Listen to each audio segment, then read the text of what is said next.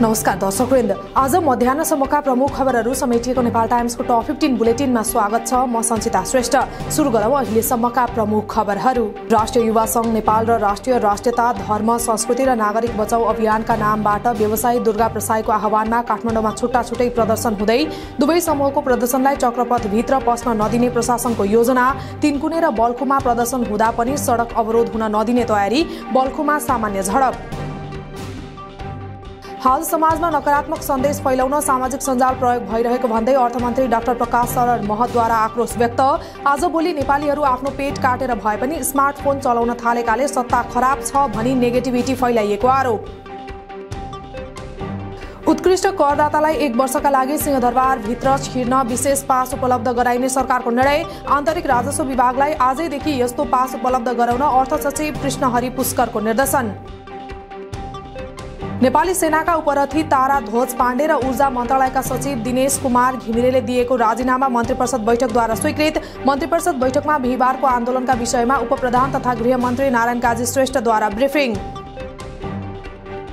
स्थानीय प्रशासनले बढायो भारतसँग सीमा जोडिएका झापा मोरङ र सुनसरीका तीन जिल्लाको नाकामा सतर्कता। मुस्लिम समुदायले गर्ने भनेको धार्मिक सभा स्थगित भए पनि सभाका लागि भन्दै नेपाल आउने क्रम नरोकिएपछि सतर्कता बढाइयो।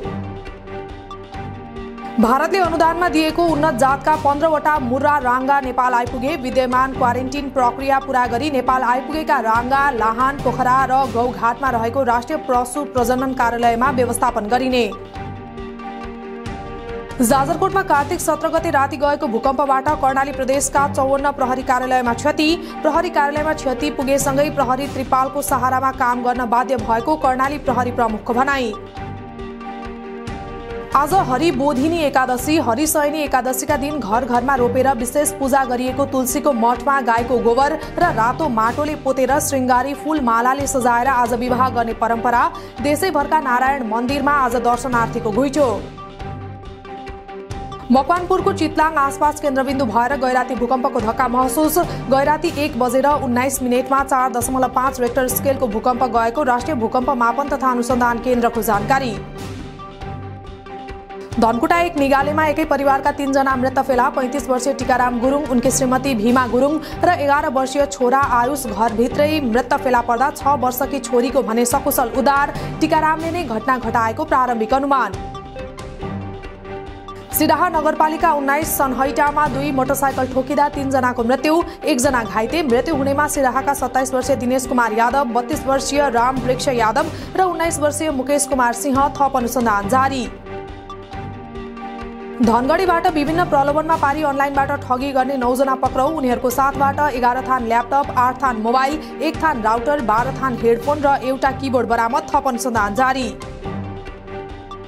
आज छापावाल सुनको भाव स्थिर रही। प्रति तोला एक लाख सोह्र हजार पाँच सय रुपियाँ कायम। यस्तै आज चाँदीको भाव भने तोलामा दस रुपियाँले घटेर प्रति तोला चौध सय पैँतालिस रुपियाँमा कारोबार हुँदै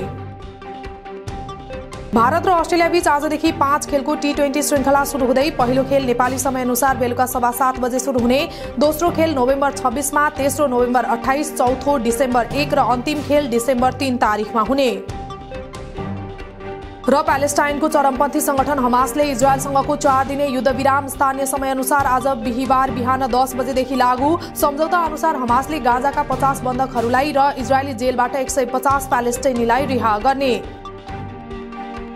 मध्याहसम्मका टप फिफ्टी समाचार अहिलेलाई यति नै। हामी दिनभरका टप फिफ्टी समाचारका साथ फेरि उपस्थित हुने नै छौँ। नेपाल टाइम्स हेर्दै गर्नुहोला। नमस्कार।